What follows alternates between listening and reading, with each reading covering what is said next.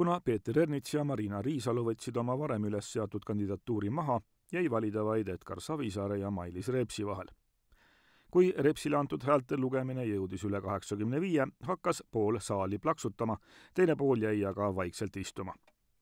värske presidendikandidaat kinnitas, et tema valimine ei tähenda lõhe süvenemist erakonnas ta kindlasti ei ole lõhe süvenemine. kõigepealt me hääletasime täna selgelt presidendikandidaadi välja ja mis puudutab erakonna sisse, siis ma usun, et kõige suurem töö on kogu erakonnal vaadata, et meie reitingud on selleks, et me oma poliitikut ellu viime. meie ülesanne on leida neid võimalusi, et need poliitikad tegelikult ka ellu viiksid. ja mida see tähendab, see tähendab ka kontakte teiste erakondadega kindlasti.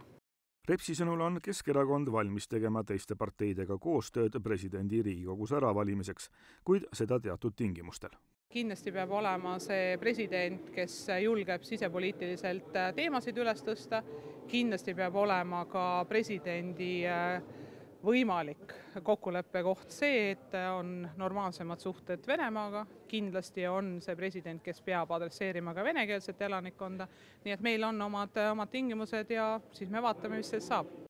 Edgar Savisaar peale valimistulemuste selgumist ajakirjanikele intervjuusid anda ei soovinud. enne valimisi erakonna esimehe avakõnes oli ta väljendunud Repsi kandidatuuri suhtes üsna irooniliselt. ma ei tea, kas Mailis ise usub, et ta saab kunagi presidendiks kas ta on ikka sama suurusjärgu poliitik, rahva ühendaja ja riigi ees seisvate väljakutsete sõnastaja nagu Lennart Meri või Arnold Rüütel või on see rohkem suhtekorralduslik projekt?